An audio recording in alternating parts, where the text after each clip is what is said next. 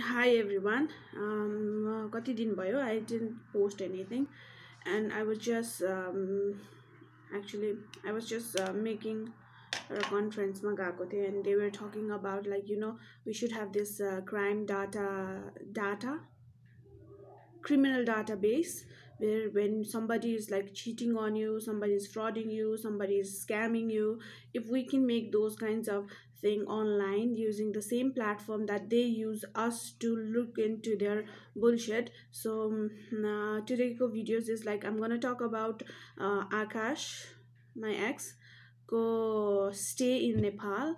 And this is one of the story i usually tell to my friends and they will just look at me like are you stupid like you got married to a someone like that first things like the way uh, like i always say the way he says the story is always exciting okay? And he skips the part where things goes wrong. So it's really i knew part of it but i didn't really knew everything but now i know everything. So i'm gonna tell you what actually happened and how long he stayed in nepal so 2011 ma uh, he was able to scam one of the woman that i am in contact with.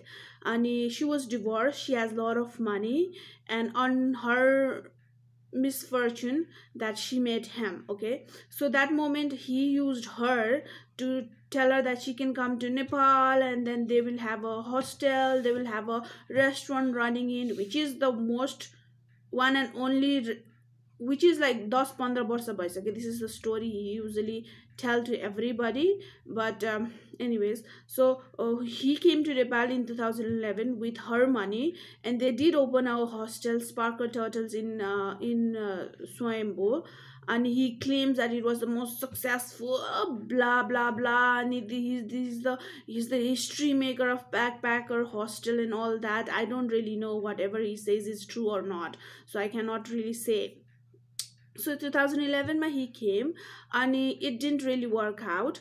And not only that he, they have like lot of both of them have a lot of problems during uh, stay in nepal.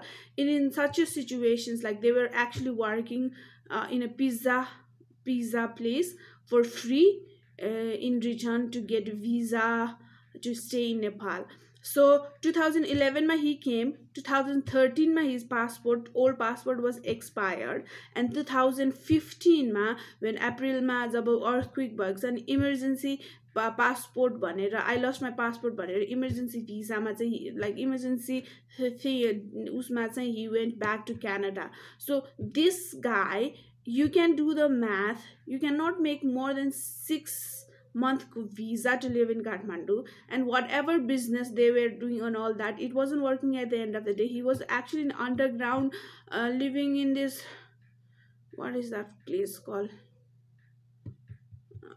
I don't know dalchini banaune Taplejung he was underground in Taplejung because he has some problems in Kathmandu so he was there so two thousand थर्टिनमा उसको visa x अनि he usually says his visa expire nobody care everybody is stupid I am the only one who is the victim and all that share तर literally भन्नु भने two thousand थर्टिनदेखि two thousand फिफ्टिनसम्म मान्छेको passport expire हुँदैन।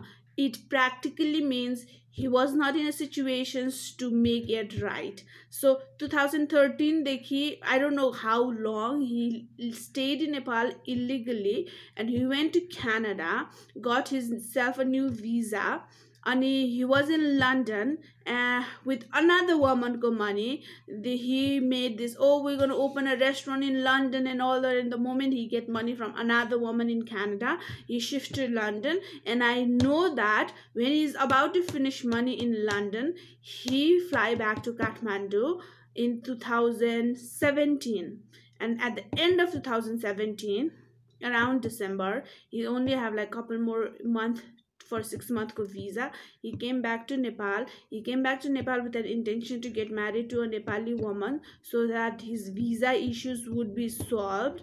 And there was another woman and now then i came in the in the uh, in the picture and it just worked.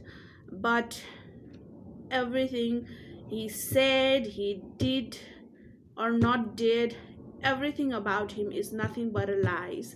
So anyone who come across to this man you can contact me to know more about him. And if you don't want to contact me at least be careful. Okay? He's not what he says he is. Thanks